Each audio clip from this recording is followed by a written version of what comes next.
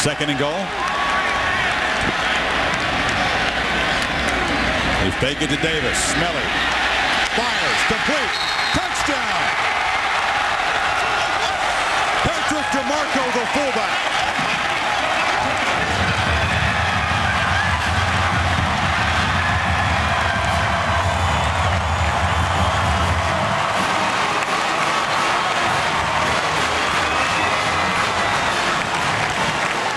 Spurrier's offense awakens. The first touchdown, just the third catch of the season for the nephew of the golfer Chris DiMarco, the true freshman.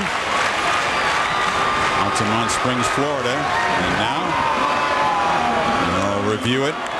See if DiMarco got the foot down. They've been very cautious, this crew. They reviewed everything, even if it didn't look to be a close call. Got to get it right.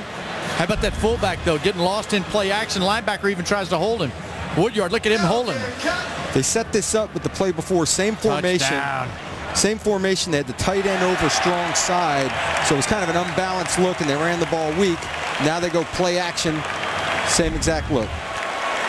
Another young player on this football team, a freshman.